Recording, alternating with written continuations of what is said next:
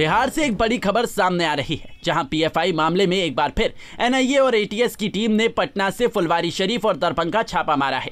रविवार की सुबह पाँच बजे से ही टीम ने दोनों जगह पर कार्रवाई की है। इस दौरान दरभंगा के बहेरा थाना क्षेत्र के छोटकी बाज़ार से एक संदिग्ध युवक की गिरफ्तारी की गई है। युवक के बारे में बताया जा रहा है कि वो पटना के मदरसे में रहकर पढ़ाई करता था, जो कि अरबी भाषा को ट्रांसलेट करने में माहिर है। एनआईए को इनपुट मिला था कि उसका आईएसआई से कनेक्शन है, जिसके बाद दरभंगा पुलिस की मदद से एनआईए की टीम ने युवक को गिरफ़्तार किया है।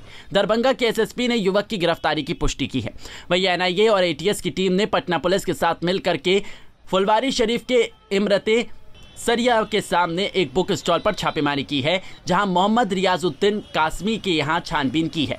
रियाजुद्दीन एक किताब की दुकान का मालिक है। बता दें कि जाँच में रियाजुद्दीन कासमी ने एनआईए की टीम को कहा है कि अगर किसी तरह की आपत्तिजनक किताब मिलती है तो वे उसकी जाँच कर सकते हैं। Punjab Kesari bureau report. हमसे जुड़े रहने के लिए हमारे YouTube चैनल को सब्सक्राइब करें और नई वीडियो की नोटिफिकेशन के लिए बेल आइकॉन को दबाएँ। अगर आप ये वीडियो Facebook पर देख रहे हैं तो लाइक ज़रूर करें और ज़्यादा से ज़्यादा शेयर करें धन्यवाद